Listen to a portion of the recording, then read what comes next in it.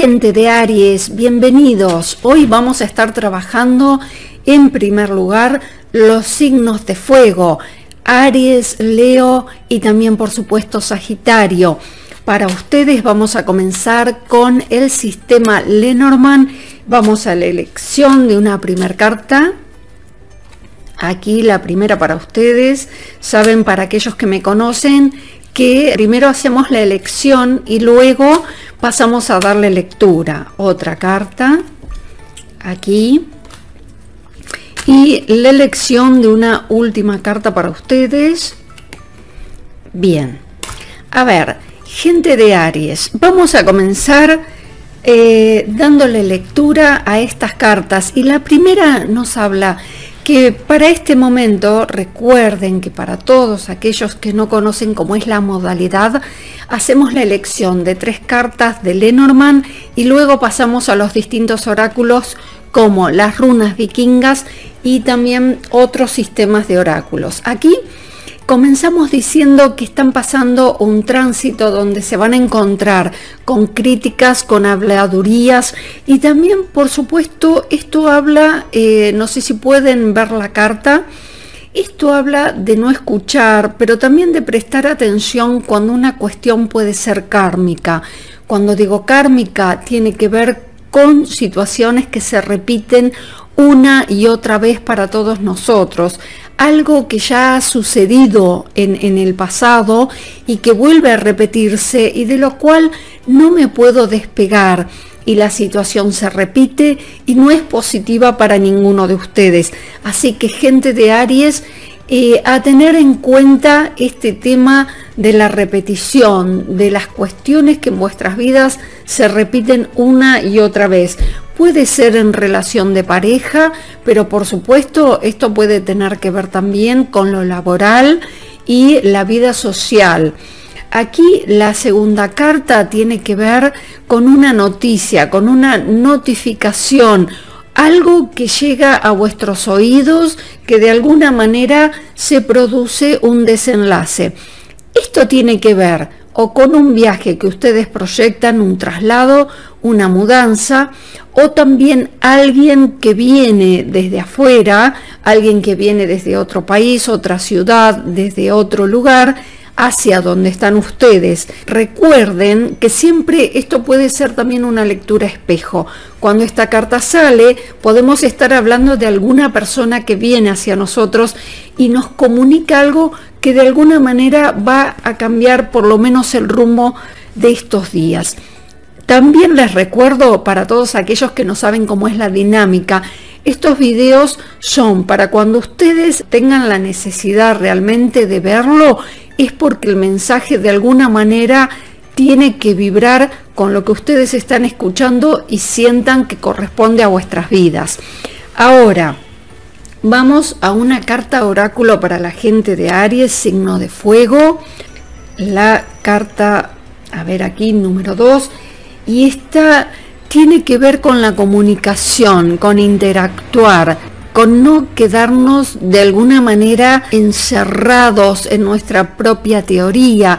Quizás nosotros pensamos de una manera y estamos creyendo que lo que está sucediendo es como nosotros lo vemos, pero en realidad recuerden que a veces tenemos que interactuar con el resto de las personas, preguntar, por ejemplo, qué opinan los demás, comunicarle a los demás lo que tenemos pensado hacer, no a cualquiera, por supuesto, pero si sentimos que gente de nuestra familia merece de alguna forma estar al tanto de lo que nosotros vamos a hacer, hay que hacerlo, porque esto es sano, de alguna manera comunicarnos es sano para nuestro espíritu. Vamos ahora a un número para ustedes, gente de Aries. El número 17. Aquí este número nos está hablando puramente de la parte económica, de las estructuras que tienen que ver con todo lo material. Recuerden que este número, para la numerología, el 17 es el número 8 porque es la suma de los mismos y tiene que ver con todo lo material, puede tener que ver con casas, con autos, pero también recuerden que pueden ser herencias, eh, cuestiones materiales y de dinero específicamente. Así que es una etapa de ordenar las cuestiones económicas, gente de Aries, para ustedes. Y en el final vamos a una runa vikinga. Hoy hemos preparado las runas eh, vikingas como tenemos aquí en primer plano y vamos a ir a una de ellas. A ver, esta runa es la número 2 y nos está hablando, cuidado con los excesos. Eh, también habla de vivir mejor, quizás hacer un cambio rotundo, gente de Aries, en la parte de la alimentación, también de lo físico, de hacer ejercicio. Así que gente de Aries, la recomendación de esta runa vikinga, y voy a sacar otra más, porque habla eh, específicamente de tratar de vivir mejor. Y aquí la otra runa que habla del éxito, que llega a través del esfuerzo en vuestro caso. Gente de Aries para ustedes. Mi nombre es Verónica, este es Tarot, el Camino del Ángel, y les deseo de todo corazón que esto les haya sido de utilidad y que los mensajes que vuestros guías tienen para ustedes realmente sean fructíferos. Gracias, gracias por estar allí. Gente de Leo, bienvenidos. Vamos a empezar a trabajar primero los signos de fuego. Hemos hecho Aries recién y ahora vamos a la elección de una carta de Lenormand para ustedes, gente de Leo. Esta carta, muy bien, una hermosa carta para ustedes. Vamos a una segunda. Aquí, la segunda carta. Y Vamos a la elección de la última carta para la gente de Leo, signo de fuego. Bien, vamos a ver, aquí nos está hablando la primera carta de que van a encontrar, tienen la llave para abrir la puerta que los lleva de alguna manera a lo que están necesitando. Puede ser algo que ustedes no encuentran la vuelta, no saben cómo llegar, no saben en este momento cómo solucionarlo, pero van a poder hacerlo. La segunda carta nos habla de tomar un compromiso. Puede ser para algunas personas eh, referente al amor, puede ser eh, con respecto a la pareja, pero también y casi siempre la carta en sí tiene que ver con el compromiso quizás sobre una persona, sobre alguien de nuestra familia, un ser querido. Así que esta carta tiene que ver con el compromiso para muchísima gente de Leo. Y aquí la tercera carta es que de alguna manera van a descubrir algo que no sabían, van a enterarse de algo de lo cual eh, no estaban al tanto o algo que estaba oculto. Así que gente de Leo, vamos a continuar con las runas vikingas para ustedes. Vamos a una runa vikinga para la gente de Leo. Bien, y ha salido esta runa que habla del coraje, de la voluntad y la victoria, pero siempre habla del coraje sobre todas las cosas. Para conseguir esa victoria que ustedes necesitan, tienen que armarse de coraje gente de Leo. Ahora voy a una segunda que me habla, pronto se avecina un tránsito de cambio o también viaje traslado, puede ser mudanza, pero sobre todo viajes y traslados para ustedes, para muchos de ustedes, gente de Leo. Ahora voy a un número, como siempre decimos, un número de la suerte, pero hay que ver a qué tipo de suerte. Puede ser buena, puede ser más o menos.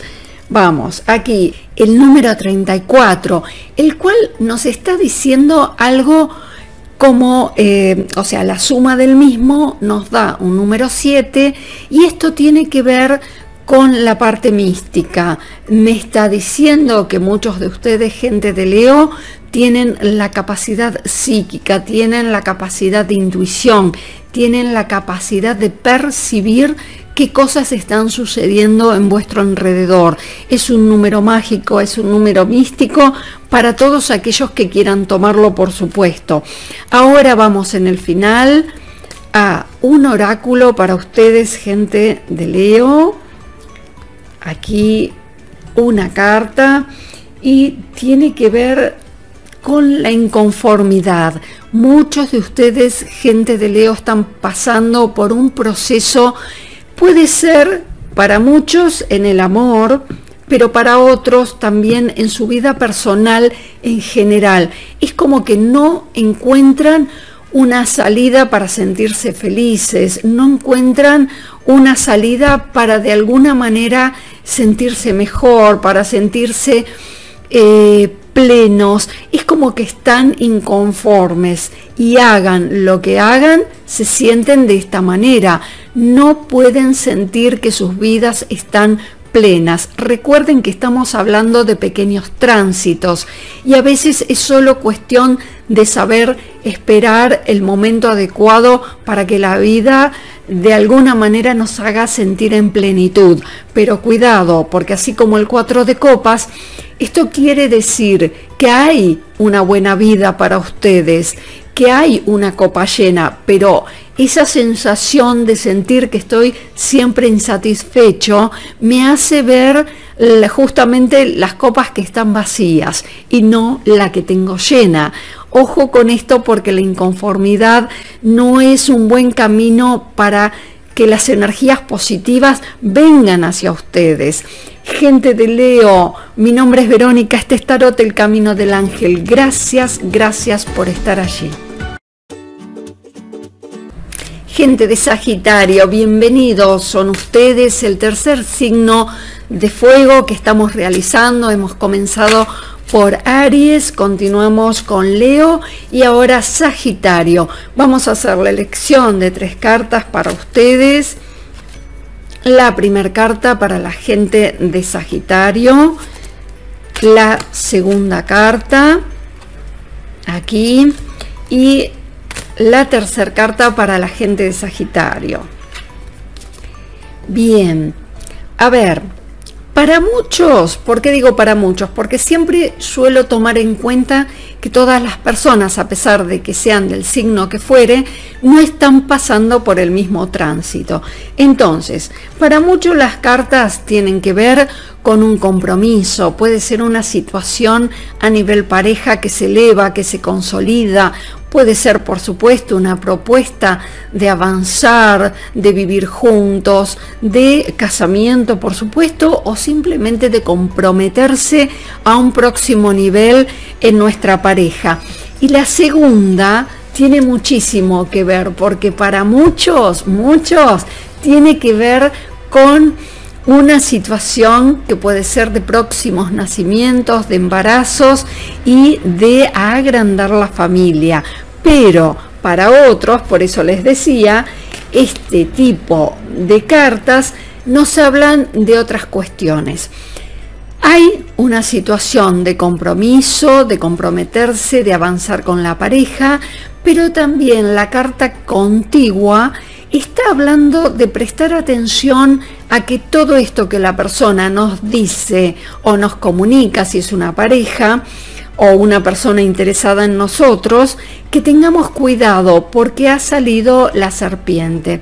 Y la serpiente tiene que ver quizás con cuestiones que no están muy claras, con una traición, con algo que no está claro o personas que se meten en nuestra relación y que de alguna manera meten púa, decimos aquí, cada uno de ustedes sabrá, estamos hablando de cizaña, eh, de llevar y traer chismes o, o inclusive de una traición. Entonces, si alguien nos viene con palabras dulces, tener cuidado antes de avanzar porque la carta que le sigue tiene que ver con una cuestión de algo que no está muy claro, pero para otro tanto nos habla de agrandar la familia, quizás de un cambio rotundo en vuestras familias, porque justamente un nacimiento puede serlo, y el compromiso de avanzar con la persona que amamos. Ahora vamos a una carta oráculo para ustedes, gente de Sagitario. Aquí tenemos una carta que habla de planificar. Esta carta es hermosa porque cuando esta carta sale significa primero que nos está pidiendo un cierto orden en nuestras vidas. Quizás no estamos siendo suficientemente ordenados y para proyectar, recuerden que cuando hablamos de programación neurolingüística, siempre estamos hablando de planificar. Si yo no planifico, por ejemplo, un negocio, algo que quiero, un proyecto, eh, un, un pequeño comercio, lo que sea en vuestras vidas, una pareja, todo hay que tratar de darle una pequeña o gran escala de planificación para que las cosas se realicen. No puedo ir totalmente eh, a lo que suceda, si no planifico, no puedo establecerme. Así que esta carta les habla, es una muy buena carta, pero les habla de planificar un poco. Voy ahora a una a la elección de una runa vikinga para ustedes Bien, a ver, gente de Sagitario, esta runa es muy similar a la carta que salió de planificar y que inclusive tiene que ver con un posible nacimiento en algunos casos o cambios, viajes y también es como un tránsito de cambiar una situación. Están en tránsito de cambiar, puede ser tanto en una pareja, por eso decía por ahí, de agrandar la familia, de consolidarla o de alguna manera la runa nos habla de trasladarnos y hacer algo más sólido. Aquí habla de proyectos, habla de soluciones de posibles proyectos. ¿Por qué insisto en esta carta? Porque para que los proyectos se realicen hay que planificar. Gente de Sagitario, mi nombre es Verónica, este es Tarot del Camino del Ángel. Gracias, gracias a todos por estar allí.